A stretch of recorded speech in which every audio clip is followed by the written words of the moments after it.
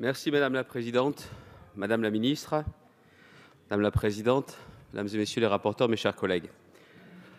Cela fait bientôt trois années que je ne me suis pas exprimé publiquement à cette tribune sur les questions de santé. C'était un choix.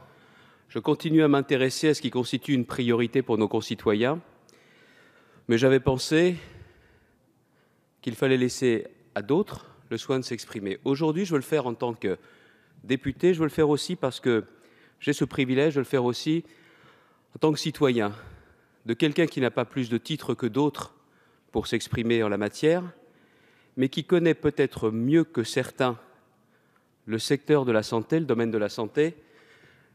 Et je voudrais lancer d'une certaine façon un cri d'alerte. Il y a des textes qui sont plus anodins que d'autres. Ce texte-là, qui nous est présenté, est un texte dangereux pour notre système de santé. Ce texte est un texte dangereux. Je pourrais prendre différents articles de ce texte. Je pourrais prendre l'article 47. Ne caricaturez pas mes propos. Je crois à l'open data. Mais un tel article, aussi mal rédigé, aussi illisible, fait peser un véritable danger sur la question du secret médical. Je pourrais vous parler de l'article 9. Les salles de shoot que vous autorisez, même à titre expérimental, c'est une folie. C'est une folie en termes de construction de notre société. C'est une folie pour le message qui est adressé aux jeunes générations d'une façon ou d'une autre. Le poids de l'interdit permet aussi de structurer une société et de structurer la jeunesse. Vous mettez le doigt dans un engrenage pernicieux et dangereux. De la même façon, il y a d'autres articles. L'article 26 montre bien, avec le nouveau service public hospitalier, que vous voulez sortir, sortir le système hospitalier du secteur concurrentiel pour une majeure partie de la population. Et j'en arrive à celui qui motive plus que d'autres encore mon intervention à cette tribune. C'est l'article 18, le fameux tiers payant. Vous êtes en train de faire prendre un virage étatique à notre système de santé. Ce virage étatique, c'est la négation de ce qu'est le système de santé français. Parce que en définitive, ce que vous cherchez à faire, avec ce passage en force, avec ce mépris des professionnels de santé, vous cherchez à atteindre le plus rapidement possible un point de non-retour.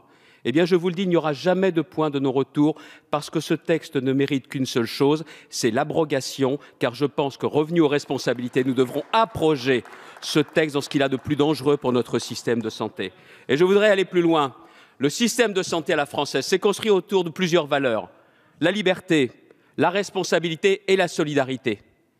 Cette solidarité, elle existe. Et alors que vous allez faire avec ce, cette question du tiers payant, vous allez opposer les patients aux médecins. Aucun système de santé ne peut fonctionner s'il n'y a pas cette confiance entre les patients et les médecins. Vous allez créer cette division, vous allez créer cette défiance. C'est une folie, c'est de l'irresponsabilité totale.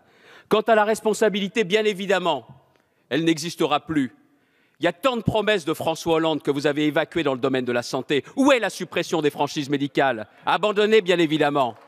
Où sont vos autres dimensions, notamment concernant la T2A que vous vouliez revoir ou supprimer, abandonner évidemment?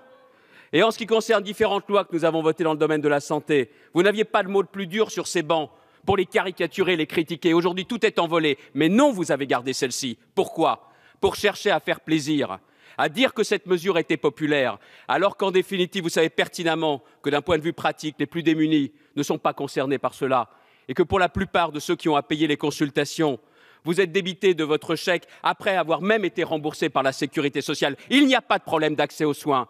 Il y a juste une ministre qui cherche à continuer à faire plaisir au risque de mettre par terre l'édifice de notre système de santé libéral. Parce que l'article 18, comme l'article 26, montre bien que ce qui vous gêne le plus dans tout ça, c'est la liberté. Le premier fondement du système de santé à la française, la liberté, la liberté de choix, bien évidemment. Vous n'aimez pas les cliniques privées, vous n'aimez pas les médecins libéraux, et d'ailleurs, vous n'êtes pas la seule. Monsieur Macron lui-même, vis-à-vis des professions libérales, n'a pas hésité à les mettre en cause. Vous savez que vos jours sont comptés. Peut-être vous, d'ailleurs, d'un point de vue ministériel. Mais le gouvernement, et on en a eu la traduction pendant deux dimanches de suite, vous savez pertinemment que par idéologie, ce que vous souhaitez, c'est faire atteindre un point de non-retour. Ceci dépasse vos compétences. Ceci dépasse la position gouvernementale qui est la vôtre. Parce que ce que vous êtes en train de faire, c'est d'affaiblir un système de santé qui n'a pas besoin de ça et qui ne veut pas voir disparaître sa dimension libérale. Vous n'aimez pas le libre choix. Vous n'aimez pas le système libéral, vous n'aimez pas l'exercice libéral. Voilà pourquoi je sais pertinemment que vous serez sourde à toutes nos propositions et que ce texte, il faudra l'abroger pour le bien du système de santé à la française.